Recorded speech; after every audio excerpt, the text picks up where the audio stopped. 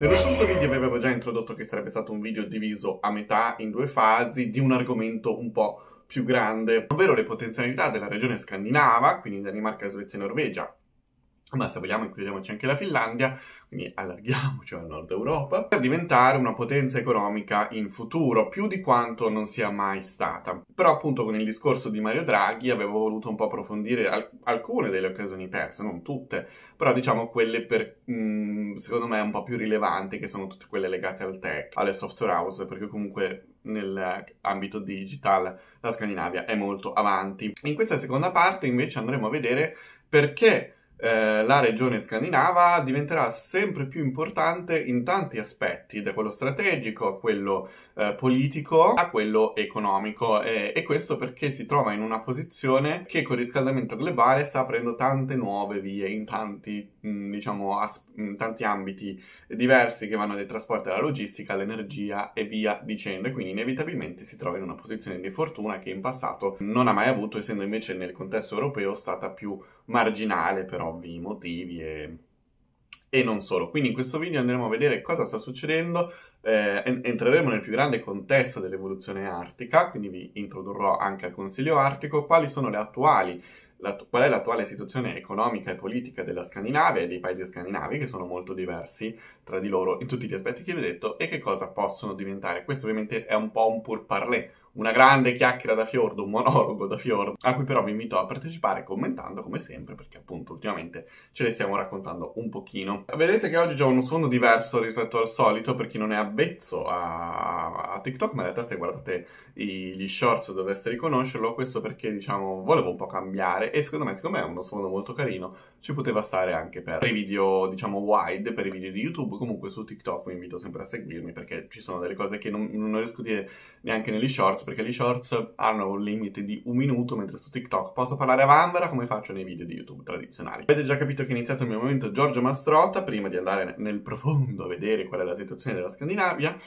Eh, vi invito a iscrivervi al mio canale YouTube se non l'avete ancora fatto e ad attivare la campanellina commentando i video, perché così l'algoritmo è contento e i miei video vengono visti da più persone. E poi a me piace sempre sapere quando lo scrivete nei modi dovuti, qual è la vostra opinione a riguardo, cosa ne pensate, eccetera. Cioè, ci siamo fatti delle vere chiacchierate insieme, sono molto contento. Potete appunto scrivermi vari, sui vari social, potete leggere i miei articoli o sul mio blog o su quello dell'Istituto Culturale Nordico, articoli che escono settimanalmente. Al momento in cui registro questo video vi dico non lo so che cosa deve uscire sono troppo in anticipo, eh, però abbiamo parlato di religione, abbiamo parlato di mh, mm, diritti LGBT,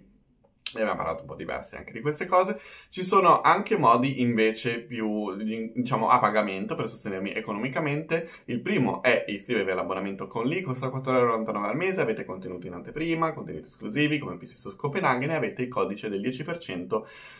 personalizzato per un corso a scelta dell'Istituto Culturale Nordico. Codice che potete avere anche se mi fate una donazione. Con um, Buy Me a Coffee potete scegliere voi l'importo da donare, mi aiuterebbe tantissimo. Potete fare anche una donazione direttamente tramite YouTube, qui però non c'è il, um, il, codice personalizzato, non perché io odi chi mi sostiene da YouTube, ma per il semplice fatto che eh, da YouTube non so bene chi siate e quindi non posso, eh, diciamo, um, eh, farmi un codice. Come sempre ultimamente non ho il mio quadernino della Volkswagen, ma ho il tablet, il Pad 2 che mi aveva dato OnePlus insieme a diversi altri prodotti con una collaborazione che sta continuando, quindi sono molto contento. Tra l'altro anche il video sta venendo registrato da OnePlus 12, questo tablet ve lo consiglio, insomma è una supply, cioè loro non mi hanno pagato, mi hanno mandato i prodotti, ma sono prodotti validi perché nel panorama telefonico sono quelli più veloci sia in generale come potenza hardware sia anche a ricaricarsi hanno veramente dei tempi di ricarica uh, velocissimi e mi lasciano sbalordito. Ogni volta, oltre al fatto che la loro batteria dura tantissimo. Dice, questo è. Direi che col momento Giorgio Mastrota ce l'abbiamo fatta, direi che possiamo cominciare.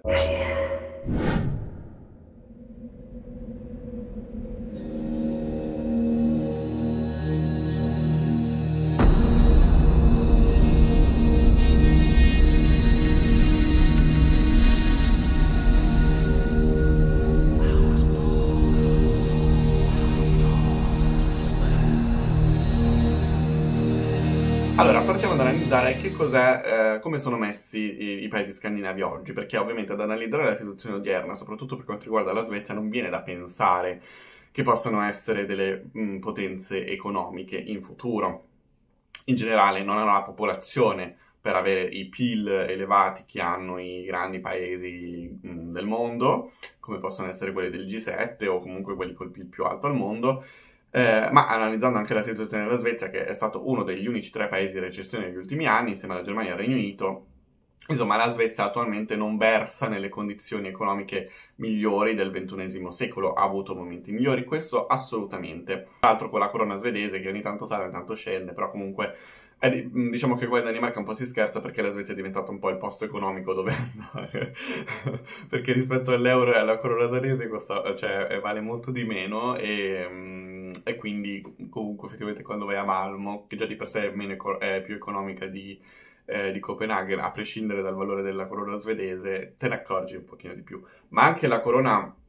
norvegese sta colando a picco di nuovo e mm, c'è stato un, un, articolo, credo, la settimana scorsa che diceva la corona norvegese è tornata a crollare e ne avevamo parlato anche nel podcast quando abbiamo parlato un po' di vacanze perché appunto quest'anno più che in altri anni gli scandinavi, soprattutto i norvegesi e gli svedesi,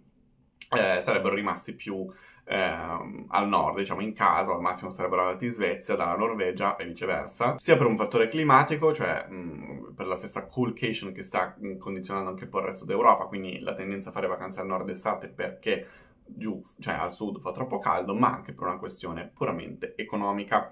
La Danimarca in questo ha un'inflazione effettivamente mh, mm, importante che diciamo lo Stato cerca un po' di alleviare anche le varie catene per cui i prezzi si sono alzati ma non in modo così eh, evidente come in altri contesti, come in altri paesi però la Danimarca non subisce questa svalutazione per il suo rapporto che, con l'euro. La Danimarca non ha l'euro, ma io dico sempre come se ce l'avesse. Mm, l'unica cosa che, per cui te ne accorgi è che se paghi con una carta italiana eh, in Danimarca in prezzi corona ci devi pagare una commissione, ma la paghi per la questione che la banca poi vi deve fare il cambio, no? Quindi c'è qualcuno che deve lavorare per voi, le commissioni sono queste. Ma di fatto se l'euro sale, la corona sale, se l'euro scende, la corona scende. E il cambio è praticamente fisso a 1 euro e 7,45-46 corone, cioè oscilla veramente di poco rispetto alle altre due. Quindi diciamo che al momento la Scandinavia, soprattutto la Svezia, risente un po' del contesto generale eh, europeo, con però due eccezioni, nel senso che abbiamo visto che mh, in Danimarca c'è l'inflazione, in Norvegia c'è l'inflazione più, cioè il crollo della corona, ma rispetto alla, Nor- alla Svezia sono messe molto meglio. La Danimarca in generale continua a crescere come economia, nel 2023 è cresciuta molto, nella prima parte del 2024 pure, probabilmente il 2024 vedrà una crescita meno evidente rispetto a quella del 2023, ma di poco, però in generale eh, è sempre sopravvissuta o quasi sempre sopravvissuta bene ai contesti internazionali. Anche la crisi del 2008, diciamo, l'aveva colpita meno rispetto ai grandi paesi europei e soprattutto la Danimarca, come la crisi attuale è dovuta a um, problemi che ci sono, diciamo, di dipendenza da alcuni paesi che hanno invaso altri paesi, oppure da una guerra commerciale tra gli Stati Uniti e la Cina, oppure dal contesto medio orientale, ecco, diciamo che eh, la Danimarca, se deve aver subito qualcosa, ha subito il contesto medio orientale, meno la crisi russa, perché a differenza dell'Italia o della Germania, ehm, non era dipendente dal gas russo. La Danimarca produce la sua energia da sola. Esattamente come la Norvegia, che non solo eh, non risente di questo contesto negativamente, ma addirittura ne ha approfittato eh, per arricchirsi un pochino di più, perché appunto la Norvegia è o è diventato o sta diventando il nuovo principale partner energetico della Germania in fuga dalla Russia e in totale disastro economico da questo suo basarsi sempre, per quanto riguarda l'energia, sugli altri. Quindi il contesto generale è un po' questo, di crescita magari rallentata in Svezia, ma comunque eh, la Svezia ha dalla sua diverse risorse e diciamo mm, la Svezia al momento è un caso un po' a sé, ne abbiamo già parlato, ci sono un po' di problemi sociali, non diciamo da rendere la Svezia il Guatemala, come qualcuno ha cercato di farmi notare, ma eh, no, non è quello il problema della Svezia, però diciamo che ris- rispetto agli altri due è messa un pochino peggio. Però, però, però, tutte e tre hanno le potenzialità e tra l'altro paradossalmente più o meno ognuno in un modo diverso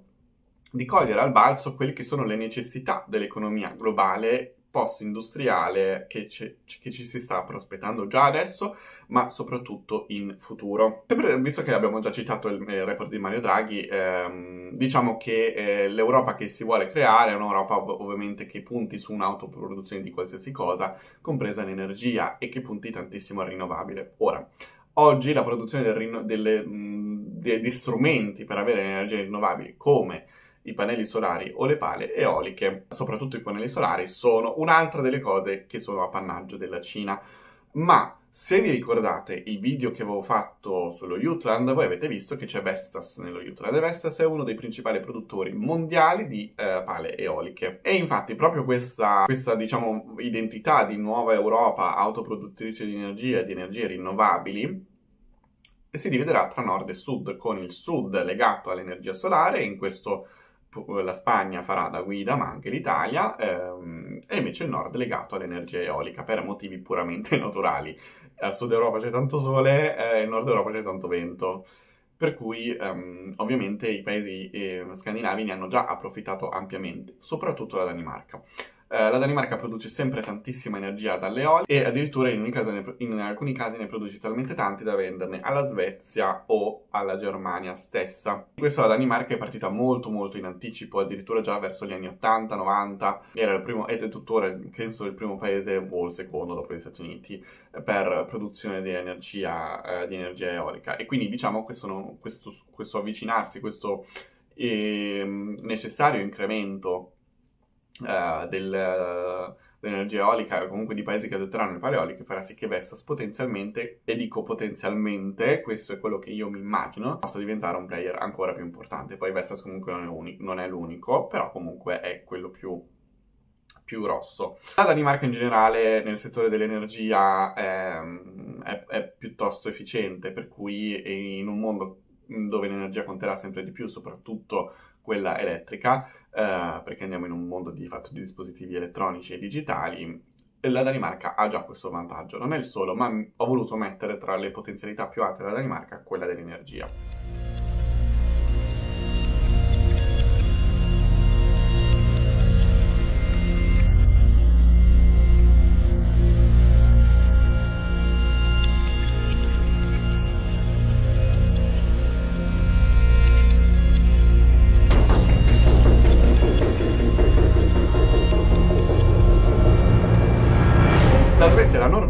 Hanno anche loro dei punti a favore molto forti, ripeto, nonostante le varie difficoltà che stanno riscontrando in questo momento. Avevo accennato nel video quello sulle, sul, diciamo, sull'aumento della criminalità,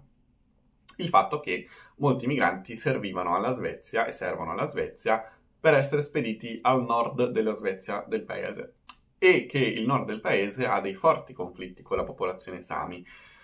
non più per i motivi passati, cioè quantomeno non esplicitamente, quindi non sono più motivi di eh, superiorità eh, della popolazione germanica su quella Sami, ma perché nel nord della Svezia ci sono tantissime miniere di minerali, minerali che servono alla produzione principalmente di batterie, ma non solo. E eh, diciamo la Svezia, forse ve lo ricordate, qualche anno fa ormai,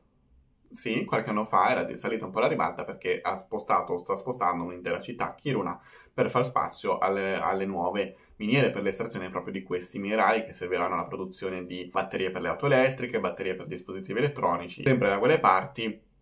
c'è Northvolt e Northvolt è uno, eh, si appresta anzi ad essere uno dei principali produttori di batterie per auto elettriche in Europa in assoluto ma poi diciamo il suo obiettivo molto ambizioso per ora, perché non ne ha le risorse, però molto ambizioso, è quello di competere con CATL, CATL. CATL, per chi non lo conoscesse, è il principale produttore di batterie per auto elettriche al mondo ed è cinese. Produce tantissime batterie per tantissimi produttori, tra cui Volvo, per rimanere in Svezia, Volvo e compagnia, ma lo fa anche per esempio per Volkswagen, Audi, eccetera, eccetera. Per cui diciamo ha un po' una sorta di monopolio. Le ambizioni di Catel sono uh, molto molto grandi, perché Catel addirittura è, ha fatto una partnership con Foxconn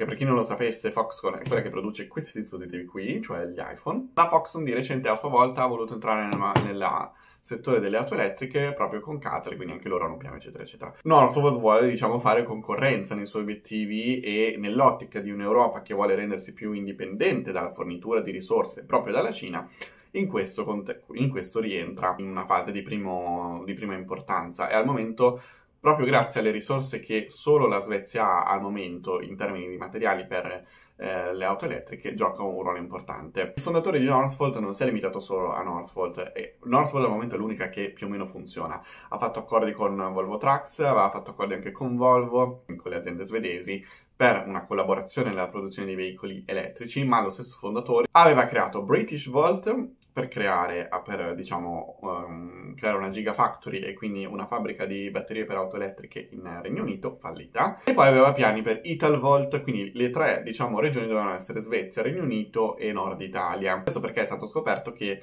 eh, in zona Piemonte c'è una miniera abbastanza cospicua di minerali, credo che fosse litio o cobalto, non mi ricordo più, proprio legato alla, bat- alla produzione di, di, batterie, per, insomma, per l'estrazione di minerali che servono poi alla produzione di batterie. Al momento è rimasta solo North- Northvolt, è quella che comunque eh, diciamo, ha più possibilità di operare e appunto da qui le miniere del, no- del nord della Svezia li servono anche per questo. Northvolt non è l'unica che le vuole sfruttare, il governo svedese poi le vuole sfruttare per tanti altri motivi, però diciamo io ho voluto mettervi questo esempio di eh, azienda di produzione di batterie perché comunque al di là delle auto elettriche le batterie alimenteranno qualsiasi cosa che noi useremo, già lo fanno oggi, figuratevi in futuro. Quindi la Svezia ha questo e sempre parlando di eh, energia e batterie c'è poi il ruolo della Norvegia che non solo è, è diventato un paese molto ricco con i suoi giacimenti di petrolio, ma per rimanere in tema, e qui capite perché rimasto, ho voluto focalizzarmi sull'attenzione dei veicoli elettrici, consapevole che la direzione quantomeno di alcune aree del mondo è di andare su veicoli elettrificati, non solo elettrici, quindi elettrificati, sa bene che il petrolio non basterà più. I piani della Norvegia, a lunghissimo termine, c'è anche quello di rendersi sempre più indipendente dalla vendita di petrolio. Al momento la, la Norvegia non, non usa tanto, cioè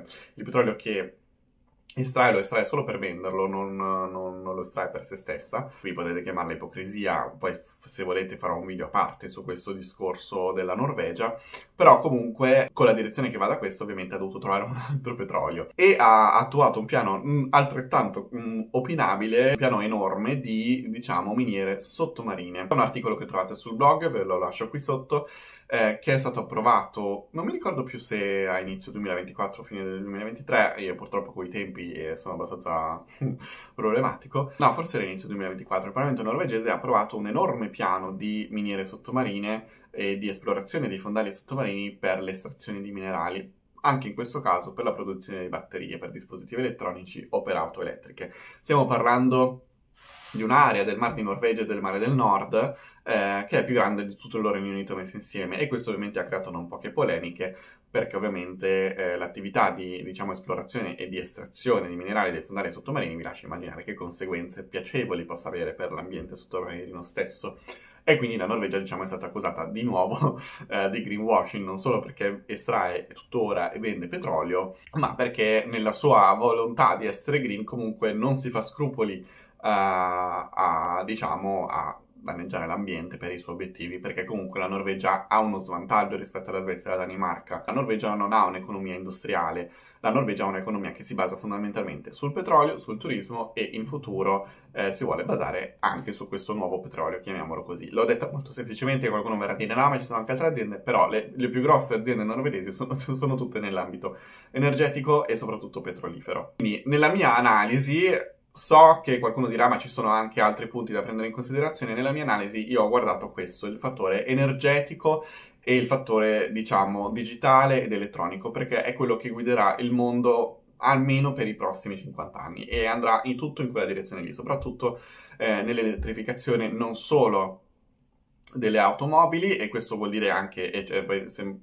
può dire, eh, ma adesso è vero, c'è una, un calo della domanda di veicoli elettrici per cui magari la domanda di batterie non sarà così alta, vi dico già che non è vero, mh, mm, perché comunque mh, mm, il calo dei, della domanda dei veicoli elettrici c'è per alcuni paesi, in particolare per la Germania,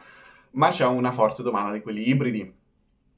e quelli ibridi hanno comunque bisogno di batterie. Per cui comunque quella è la direzione, quella è stata presa, mm, possiamo essere d'accordo, possiamo non essere d'accordo, però quella è stata voluta intraprendere. Quindi diciamo che in un mondo che va a quella direzione, al momento i paesi scandinavi sono gli unici, um, o comunque quelli più avanti da questo punto di vista. Nel caso delle rinnovabili, come la Danimarca, perché hanno investito molto prima in queste tecnologie,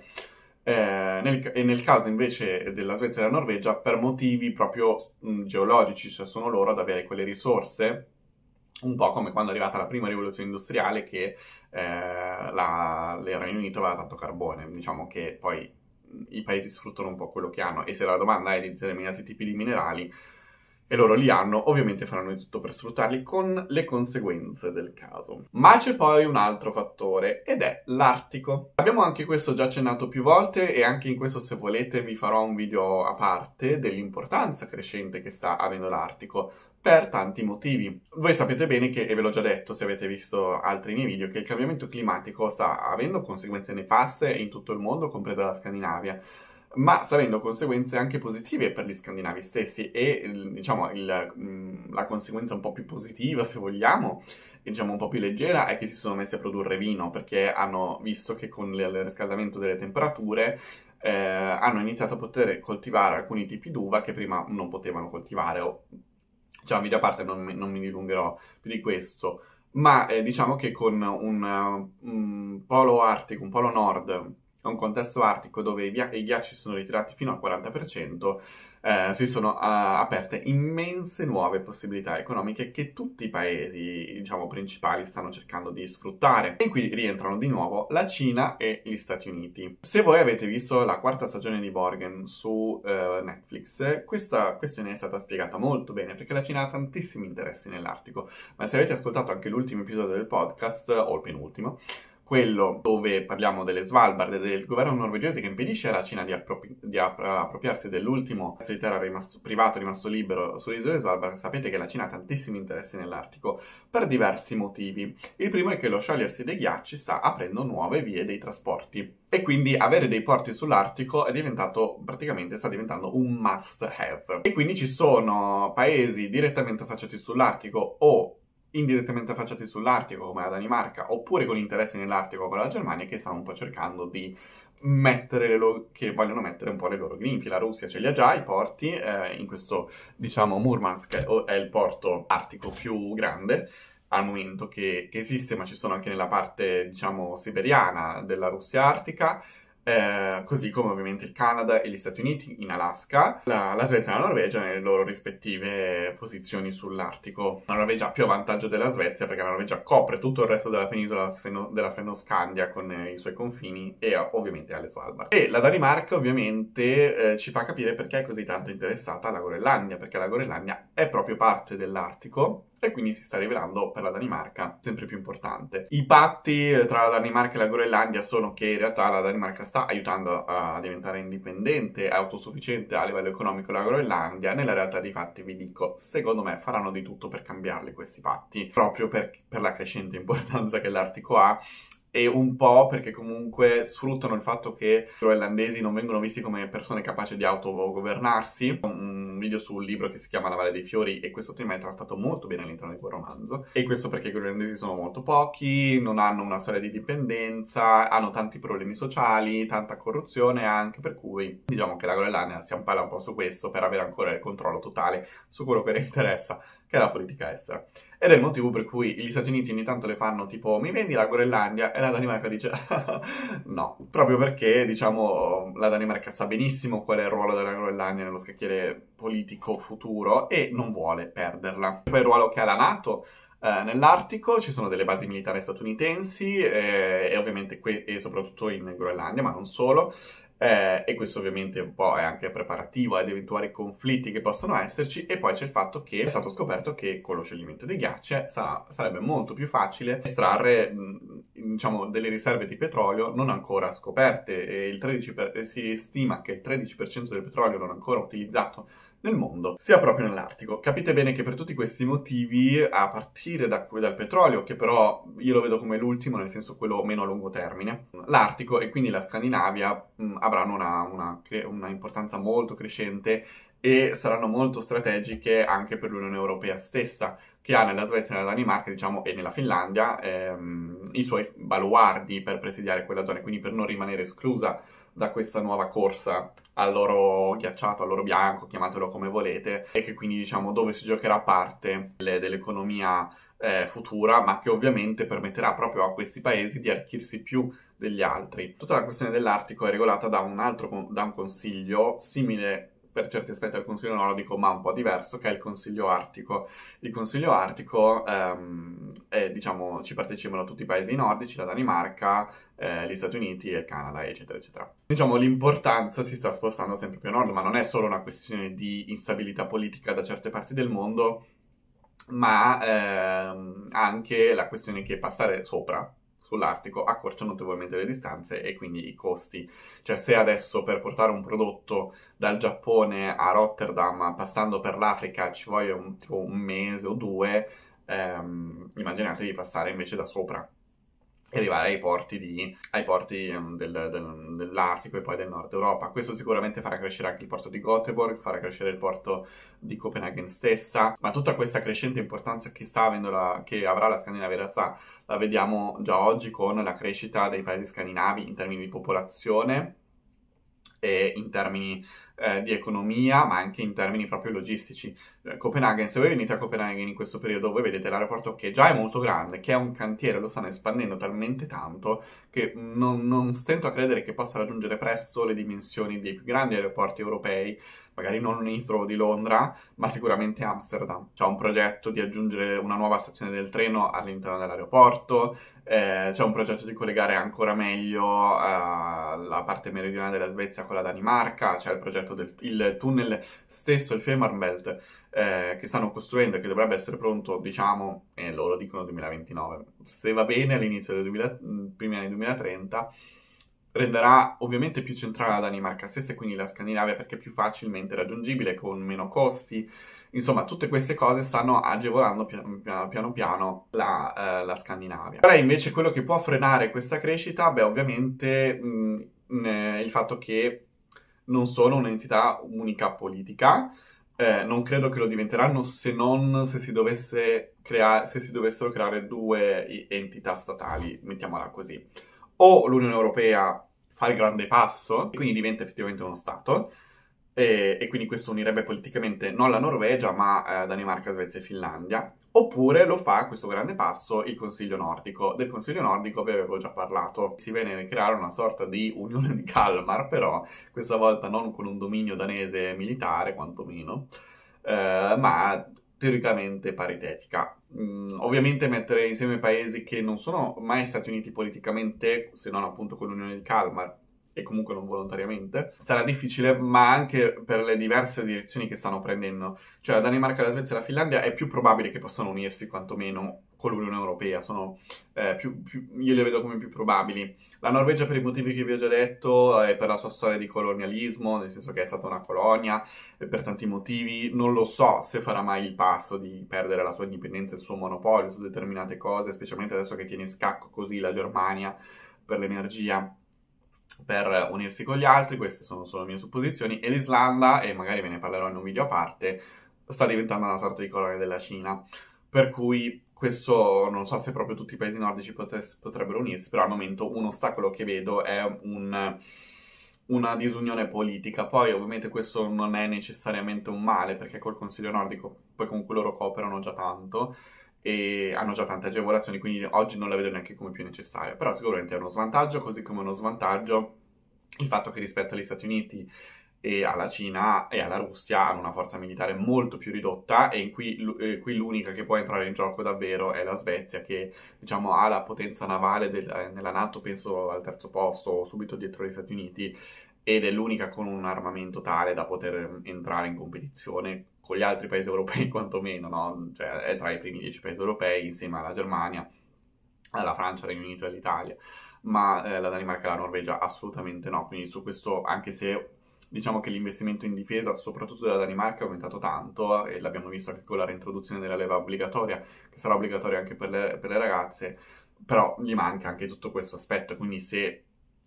Uh, madre Mosca scapocciasse un'altra volta decidesse di uh, invadere qualcun altro, uh, diciamo che le carte sarebbero tutte a suo favore rispetto a quello dei paesi scandinavi singoli, quantomeno.